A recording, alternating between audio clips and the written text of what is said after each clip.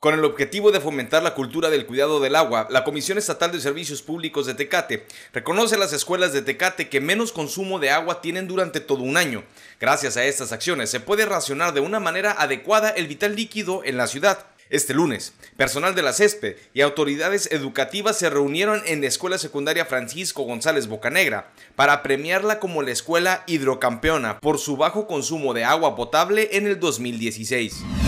Estamos en la Escuela Secundaria Estatal Francisco González Bocanegra número 19 y bueno, ella fue una de las eh, escuelas ganadoras que en el programa de escuelas hidrocampeonas que venimos implementando desde hace dos años con eh, la Oficialía Mayor de Gobierno del Estado y también el sistema educativo para estar monitoreando los consumos de las escuelas y poder implementar eh, medidas de ahorro en cada una de las escuelas. Y bueno, esta escuela en este 2000 en el, monitoreo de 2016 pues tuvo un ahorro mucho muy importante de un 28% y bueno es lo que venimos hoy a reconocer el esfuerzo importante que hizo esta escuela entre alumnos, personal docente y pues dirección.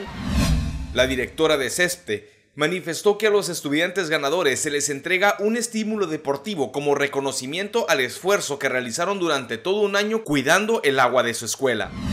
El día de hoy pues se les entrega a la dirección a, través de su directora, bueno, un reconocimiento de parte de la Oficialía Mayor por ese gran esfuerzo que hizo durante 2016 para obtener esos resultados y por parte del organismo pues es algo simbólico, es un equipo deportivo para que pues eh, puedan eh, de alguna manera motivarse a seguir en este programa de escuelas hidrocampeones. Patricia Ramírez precisó que durante el año se capacita al personal de Intendencia para que detecten fugas de agua y las reporten, además de ofrecerles a los alumnos talleres de sensibilización del cuidado del líquido. Actualmente se monitorean todas las escuelas de gobierno en todos los niveles. Lo importante es de que sepan identificar en dónde están las fugas y dónde hay que trabajar para evitar que haya un derrame de agua. Eso y la capacitación en talleres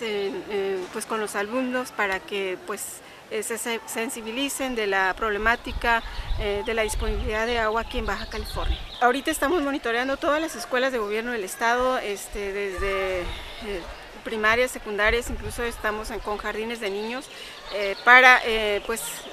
ir implementando las medidas conforme lo vayamos encontrando en, esas revisiones que hacemos de instalaciones. Para California Medios, con información de Javier Cruz, Roberto Estrada.